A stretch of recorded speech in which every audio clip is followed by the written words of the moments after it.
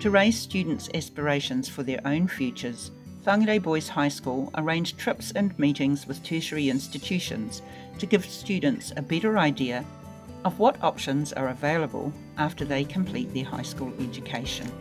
The idea here is to lift the boys' aspirations by showing them what is out there, what is possible, and that they could be part of it. Many of our boys don't have an idea of what's out there and that they could be part of that. If you don't know it's there, you can't aspire to it. The response to this program by the boys and the parents has been absolutely amazing. Parents saying things like, I've got a different boy back, he's talking about his future, um, he's inspired, he wants to do well, he can see where he's going, which is you know, really heartening to see that that work is, is there. Three years ago, this trip was a van load of boys. Then we managed to fill a bus the next year. Last year we had a bus with a waiting list. This year we took a bus with extra vehicles. So we aspire next year to take all Māori boys in year 10. I only knew what I was going to do last year. So when I took Year 12 tourism and QRC came up to talk to us, so Queensland Resort, uh, Resort College, I took an interest as soon as they started talking to us about their tourism courses, their hospitality courses and their culinary courses. I knew that I wanted to go down there after school.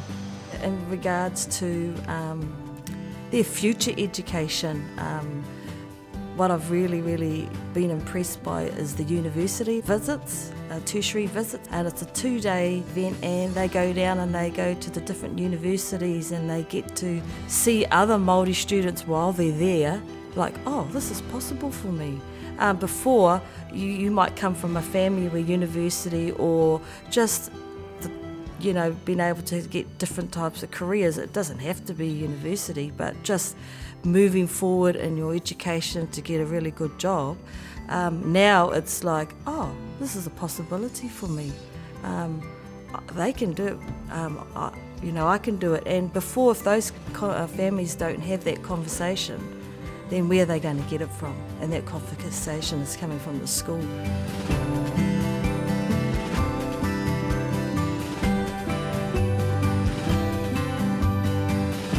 I'm taking media studies at the um, at Whangarei Girls High School, and um, it's really been really good because um, even though we didn't have the option there, um, our new principal was uh, able to find a way for us to still take the subject. I intend to study um, a Bachelor of Arts at AET majoring in film and TV, and so that's what's uh, been really cool about taking media studies over at Girls High is that um, it's given me a, a doorway to go into that subject, and when I go to study, I'll know what to expect kind of thing like that. So that's really good and that's what's cool to see that um, the school, even though it doesn't have the subject, is uh, still encouraging us to take the subjects that the school doesn't really offer.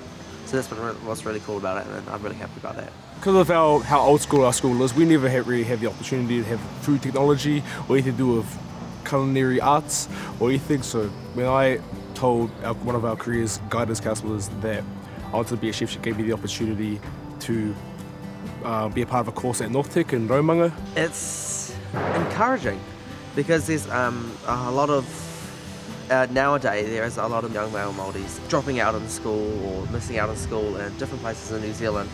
And um, there's kind of an increase of Māori men not exactly uh, finishing school or doing stuff that isn't the greatest and there's an increase in um, the Māori crime rate and stuff like that. So it's good to see that she's focusing on education and um, making sure that we don't fall uh, to the statistics and making sure that Māori students do finish school and make sure they go off to university or go into a trade or in the uh, Navy or the Army or anything like that and to get an education and she's it's really encouraging to see that because um, she's making sure that we do have a future and that uh, we are a school that um, promotes Māori males um, going into um, an education.